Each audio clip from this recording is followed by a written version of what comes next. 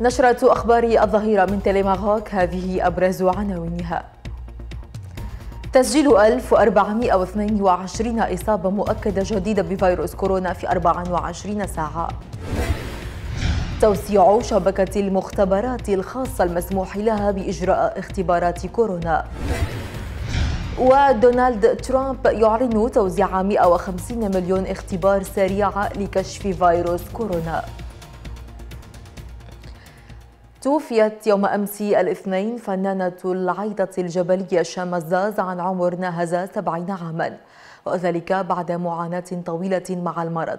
وعلم من مصادر محلية مقربة من الأسرة أن الفقيدة أسلمت الروح بالمستشفى الإقليمي لتاونات ليفقد بذلك الفن الشعبي الجبلي أحد أشهر رموزه النسائية.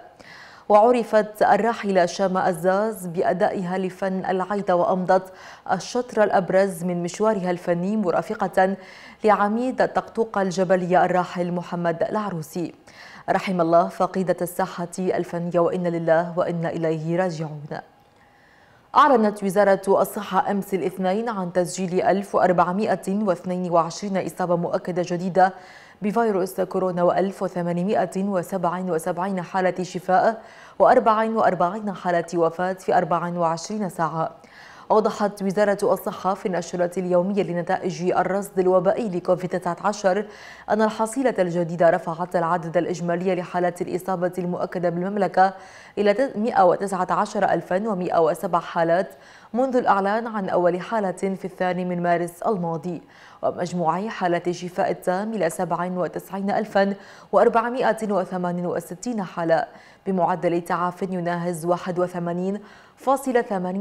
فيما ارتفع عدد الوفيات إلى 2113 حالة ليستقر معدل الفتك في 1.8% أعلنت وزارة الصحة أمس الاثنين توسيعها لشبكة المختبرات الخاصة المسموح لها بإجراء اختبارات تشخيص الإصابة بفيروس كورونا.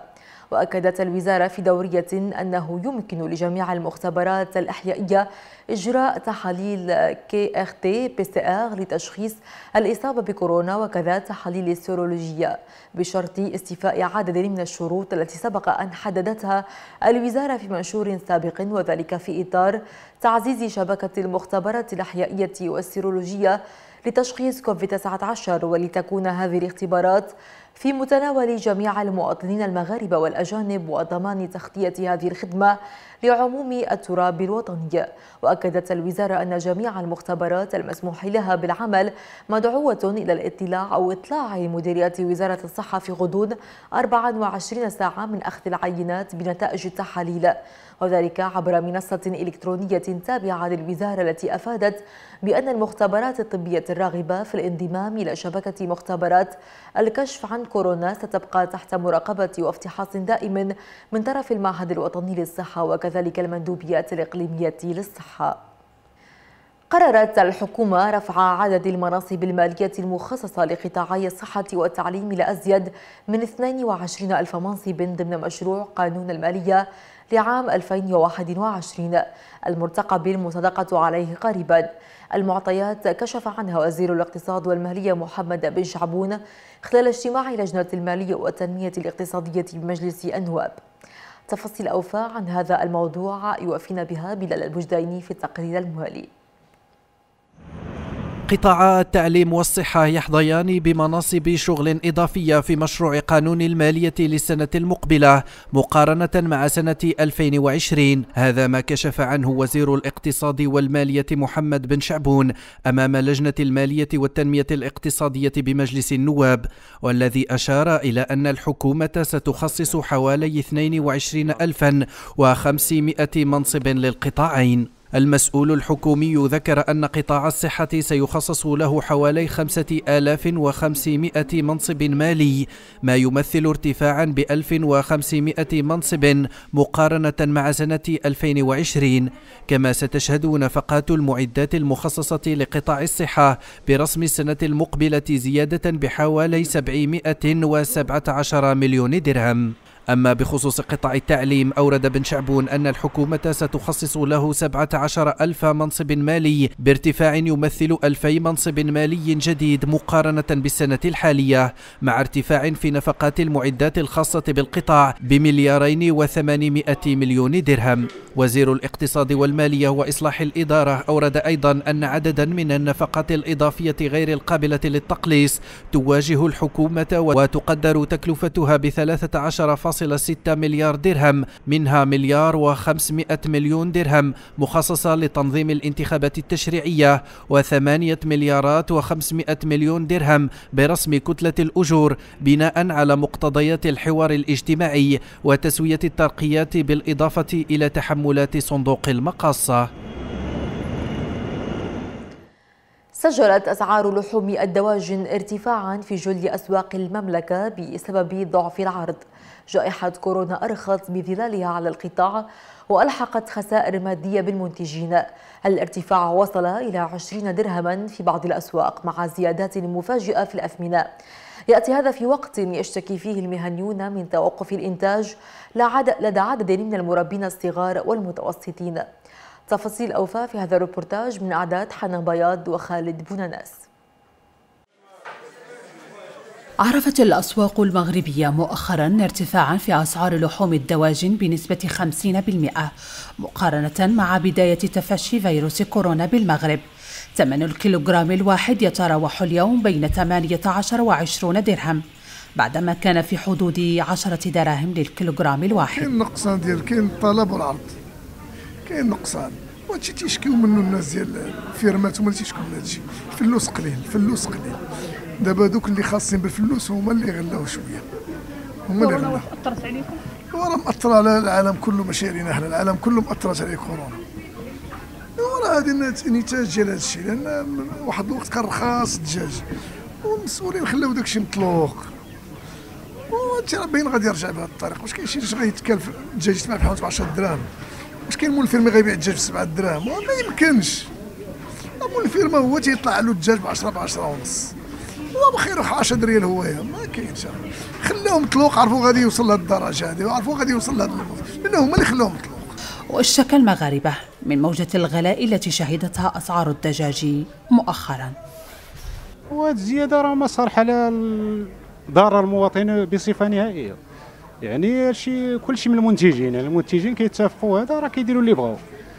مدير الفيدرالية بمهني لقطاع الدواجن بالمغرب أكد في تصريح مع قناة تيليباغوك أن الارتفاع الأخير في أسعار لحوم الدواجن يعزى إلى التراجع الكبير على مستوى العرض مع تسجيل تضرر المنتجين من انعكاسات جائحة كورونا. فعلا منذ الأسبوع الثاني من سبتمبر كان هناك واحد ارتفاع كبير في الثمن تاع الدجاج وهذا راجع الانخفاض العرض في السوق اللي جاء نتيجة كذلك على الأزمة الخانقة اللي يعرفها القطاع منذ بداية كورونا في شهر مارس حيث تعرفوا بأن الإجراءات اللي خداها المغرب باش باش يحافظ على الصحة تاع المستهلك وتاع المواطن المغربي وخاصة منها إغلاق المطاعم ومنع جميع الحفلات وكذلك آه، شد الحدود وجميع التدابير اللي كانت كلها أدت إلى واحد الانخفاض في الطلب. اللي تنقولوا بأنه تقريبا 40% وهذا آه، اللي تيفسر أن في ذاك الوقت نتاع الجائحة ما بين مارس حتى سبتمبر الأثمنة كانت في واحد الحدود لحد منخفض كثير حيث وصلت ل 5 دراهم ونص 6 دراهم 7 دراهم في الفيرما. طبعا هذا الثمن هذا هو أقل بكثير من تكلفة الإنتاج واللي ادى واحد الخسائر كبيرة بالنسبة للمربيين اللي تقدر 4 مليار تاع الدرهم خلال هذه المدة منذ شهر مارس. وهذا هو اللي أدى إفكتيمون المربيين أنهم إما ينقصوا من الإنتاج ديالهم وإما آه، تخلي ما بصفة كاملة على الإنتاج. وهذا اللي اعطانا اليوم هذا الانخفاض في العرض.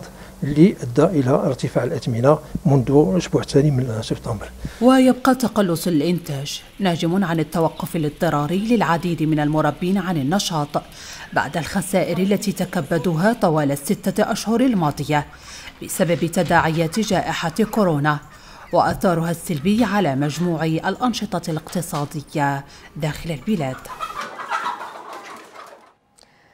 في أخبارنا الدولية قال دونالد ترامب أنه سيتم توزيع 150 مليون اختبار سريع للكشف عن فيروس كورونا. في الولايات المتحدة قامت شركة أبوت بابتكاره وحصلت مع نهاية أغسطس الماضي على ترخيص بتسويقه. أوضح ترامب بأن الأولوية في الاستفادة من هذا الاختبار السريع ستكون لمعلم المدارس ودور رعاية المسنين والجامعات. والاختبار يقدم نتائج في غضون 15 دقيقة إلا أنه لا يتسم بدقة اختبارات الفحص المخبري الفائق الدقة.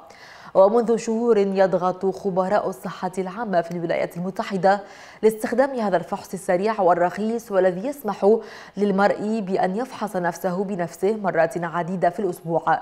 حسب الحاجة وأن يحصل على نتيجة في غضون دقائق. معتبرين بأن الفحص المخبري الفائق الدقة الذي لا تعرف نتائجه إلا بعد خمسة أو سبعة أيام يصبح عمليا عديم الفائدة لأن مرحلة الذروة في انتقال العدوى تكون في العادة قد مرت والمرض تفشى. في أخبار الرياضة سيواجه اليوم نادي الدفاع الحسني الجديدي ضيفه حسنية أكادير بملعب العبدي بالجديدة ضمن لقاء الأسبوع السابع والعشرين من الدوري الوطني الاحترافي لكرة القدم. في المقابل سيرحل نادي الجيش الملكي لملاقاة يوسفية برشيد بملعبه البلدي لحساب الأسبوع نفسه من الدوري الوطني. إلى منافسة البريمير ليج حيث يواصل ليفربول بدايته القوية في رحلة الدفاع عن لقبه بالدوري الإنجليزي لكرة القدم.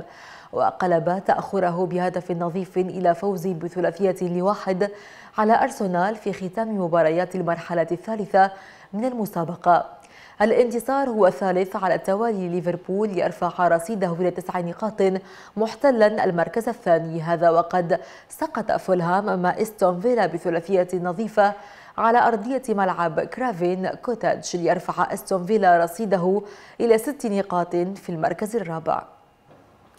ختام النشرة وهذا تذكير بأبرز عناوينها تسجيل 1422 إصابة مؤكدة جديدة بكورونا في المغرب في 24 ساعة. توسيع شبكة المختبرات الخاصة المسموح لها بإجراء اختبارات فيروس كورونا. ودونالد ترامب يعلن توزيع 150 مليون اختبار سريعا لكشف فيروس كورونا. موعدكم بعد قليل مع نشرة لأحوال الطقس. تليها قراءة في أبرز عناوين الصحف مع فاطمة الزهراء دورات دمتم في أمان الله.